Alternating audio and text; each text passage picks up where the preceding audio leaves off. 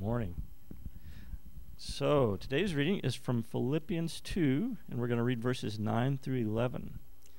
Therefore, God exalted him to the highest place and gave him the name that is above every name, that at the name of Jesus every knee should bow, in heaven and on earth and under the earth, and every tongue acknowledge that Jesus Christ is Lord to the glory of God the Father.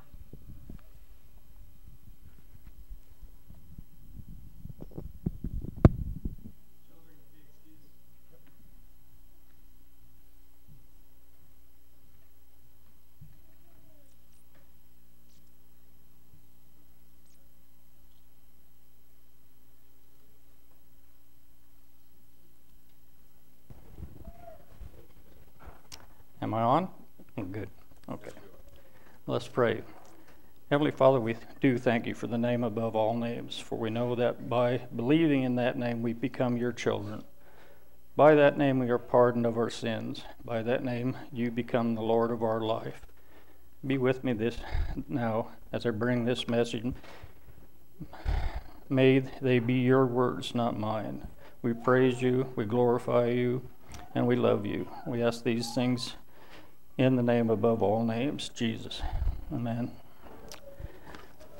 Last week, I started uh, a three part um, series on the, the uh, Nicene Creed. And last week we talked, or I talked about uh, God the Father. This week I'll be uh, preaching on the Son of God. Uh, the Nicene Creed has one sentence about God the Father, but has six sentences about, about Jesus. I'll, I'll read that today. And I believe in one Lord Jesus Christ, the, the only Son of God, from the Father, uh, begotten before all time, light from light, true God from true God, existing, not made, of the same being as the Father through whom all things came into being. That one for us humans, and on account of our sin, descended from heaven and became flesh by uh, the Holy Spirit and Mary the Virgin, and became a man, and was crucified for us by Pontius Pilate, and suffered and was buried, and rose again on the third day according to Scripture and he ascended into heaven and sat down at the right hand of the Father, and is coming again with glory to judge the living and the dead, of whose kingdom there is no end. That's translation right out of the, the Greek, by the way.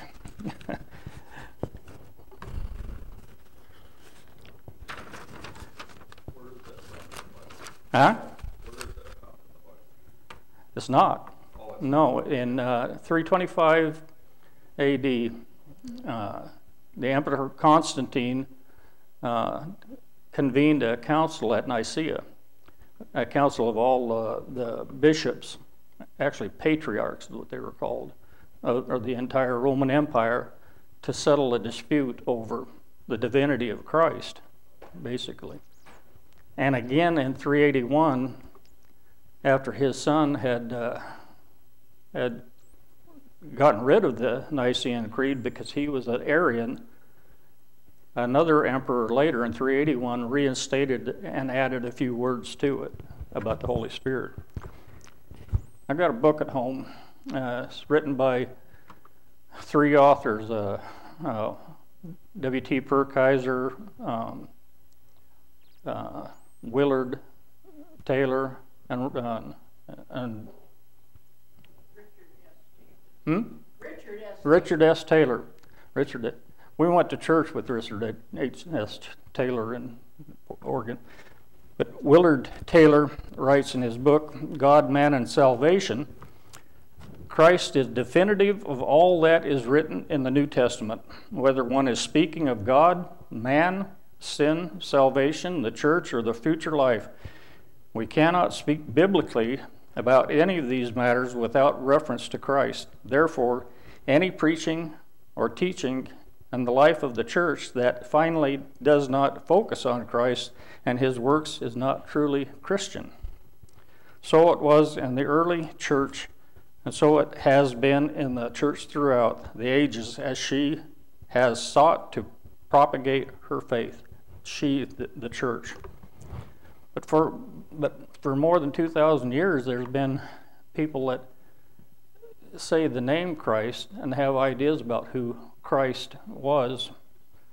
They don't, they're not Christian by any means because those are some of them real strange ideas.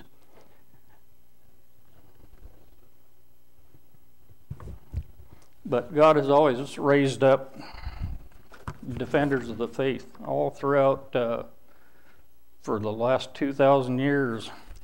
One of those defenders of the faith, and I got an article he read, It was C.S. Lewis. My first semester of college at the University of Idaho, I took a class called uh, Introduction to Religion. And the class basically was uh, a seminar with just uh, different people asking different questions.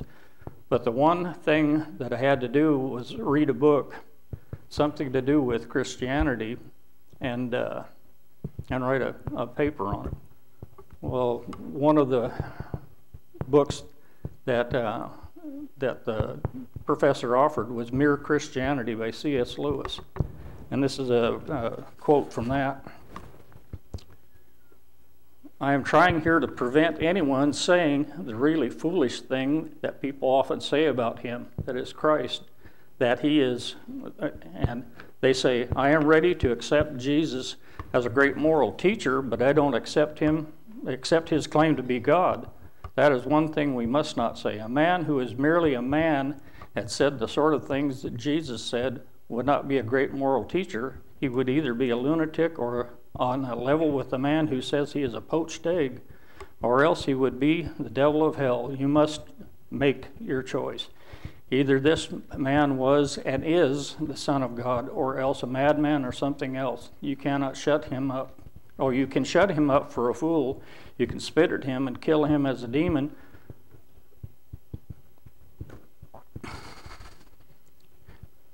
This always breaks me up. Or you can fall at his feet and call him Lord and God. But let us not come up with anything, any patronizing nonsense about his being a great human teacher. He has not left that open to us. He did not intend to. And again, Taylor writes It has been and still is the con- conviction of traditional Christian thought that with a full acknowledgement all, of all the variations of expression concerning Christ in the New Testament, the early church faithfully transmitted, transmitted those words and works of Jesus. Behind the record are trustworthy witnesses to Jesus and to Jesus' self consciousness, that is to say, what he knew himself to be. In uh, Mark 14, 16 through 14, 61 through 62, he, at his trial, Jesus was asked by the high priest, Are you the Christ, the Son of the Blessed? Jesus said, I am and you will see the Son of Man sitting at the great right hand of power and coming with the clouds of heaven. Pilate asked in Mark 15:2, "Are you the king of the Jews?" Jesus replied, "It is as you say." By the way, Eusebius, uh, who I referenced last week, uh, wrote that that Pilate later fell into such calamities he committed suicide. John 10 30, Jesus says, I and the Father am one. John 8 56 through 58, your father Abraham rejoiced to see my day, and he said, and he saw it and was glad. The Jews therefore said to him, You are not yet fifty years old, and have you seen Abraham? Jesus said to them, Truly, truly, I say to you, before Abraham born was born, I am. In the Greek, that is ego eimi, which literally says, I, I am. Eimi means I am. You don't need the, the pronoun. there's 10 more of the I am statements there. Each, each place it's ego eimi. I am the bread of life. That's John 6 35 and, and also John 6:48. I am the living bread. John 6:51. I am the light of the world. John 8:12. I am the door of the sheep. John 10:7. I am the good shepherd. John 10:11. I am the resurrection and the life. That's John 11:25. I am the way, the truth, and the life. John 14:6. I am the true vine. I was I read someplace that if if you only had the the Gospel of John and only one book, you would have everything you need for salvation. You would know everything to know there is about God.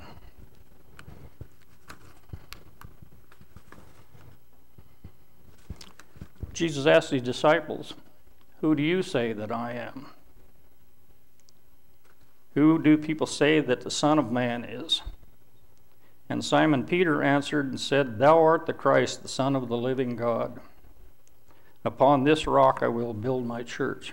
On the statement, not on Peter, on that uh, you are the Son of the living God.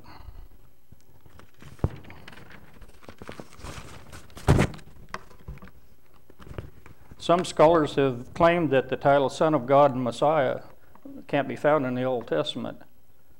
Well, there's only about two uh, times that the word Messiah is used in the Old Testament.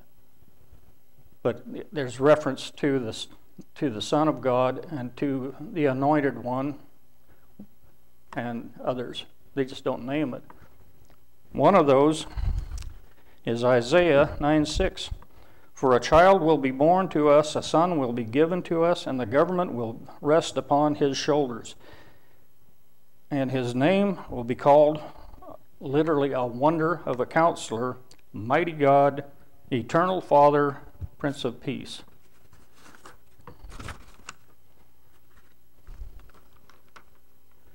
And then Isaiah 7:14 Therefore the Lord himself will give you a sign behold a virgin will be with child and bear a son and she will call his name Emmanuel which means God with us. So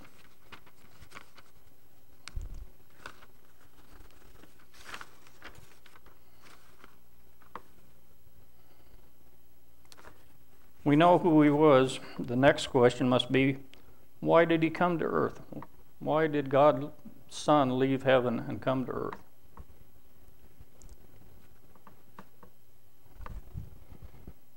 That one for us, mankind, defended from heaven for our salvation by becoming flesh by the Holy Spirit and Mary the Virgin and becoming a man I wrote down these Greek words here. Kai halagos, ein har, let's see, no. Oh, kai halagos sarxagenata, kai eskenosen en humin. That means,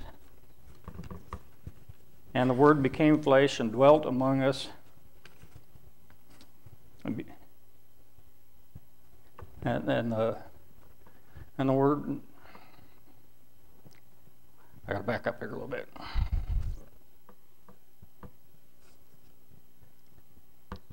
And became a man. Oh, no, Scanos, and it literally means set up a, tunk, a tent. Scane is the word for tent. So he set up a tent, temporary living with us. Sin came into the world by Adam. Jesus paid the price for our sin. Having been crucified for us by Pontius Pilate, he suffered and was buried, only to rise again on the third day, as it was prophesied in, in uh, Scripture. My first uh, semester, again, that same class, uh, Introduction to Religion, the professor teaching the class was a United Methodist minister with a doctorate in comparative religion and we were going, talking about the resurrection, and he made the statement that, well, the res- resurrection was just figurative, he didn't re- really raise from the dead. And I was shocked, really pretty shocked. So I said, Well, the Bible tells me that if he is not raised, we are still in our sins. Now that kind of shocked him. He didn't say much after that. But after the class, one of the students, a young lady named Kathy, came up to me and uh, said, I'd never heard that before. I'd never heard that. And she was the pastor of a United Methodist Church just north of, of uh, Moscow down there. Then again, in uh, 1990, Vicki and I and our Sarah moved to Jennings Lodge, Oregon, to where I enrolled in uh, Western Evangelical Seminary. And one of the classes was uh, Introduction to Theology. It was taught by a, a man named Tony Casarola. And it was a seminar class where there were six of us sitting around a table and just discussing Scripture. And again, it came to the resurrection, and he asked the question, How do you prove the resurrection? Now, to each one of us, he'd ask that question. And all the way around the class, there were answers, and they were good answers, you know, proof. And he just kept shaking, shaking his head. Finally, he said, You can't. You have to accept it by faith. And that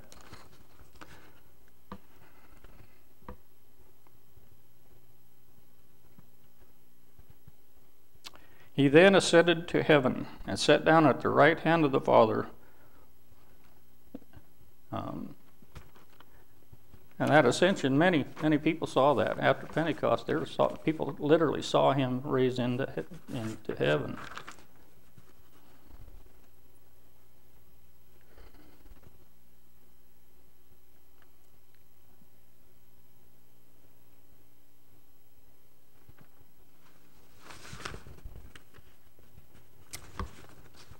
I got my paper mixed up. But he has promised to come again. And he has come again with glory to judge the living and the dead, and of his kingdom there will be no end. I read this uh, the other day in uh, The Cost of Discipleship by, by Dietrich Bonhoeffer. Now, Dietrich Bonhoeffer published this book in, in 1937. 1935, Hitler took over uh, leadership of the church and declared himself basically uh, replacing Christ. But Bonhoeffer said, May God protect his holy gospel from being obscured and profaned by false doctrine and unholiness of living. May he ever make known his name, his holy name, to the disciples in Jesus Christ. May he enable all preachers to proclaim the pure gospel of saving grace, defend us against the tempters, and convert the enemies of his name. And with that, I'm going to end the. Let's pray. Heavenly Father, help us to be as steadfast in our faith as Bonhoeffer and Lewis and the early church fathers. Help us to realize the true value of knowledge, uh, knowing Jesus as our Lord and Savior. I ask these things in Jesus' name. Amen. And thank you for coming.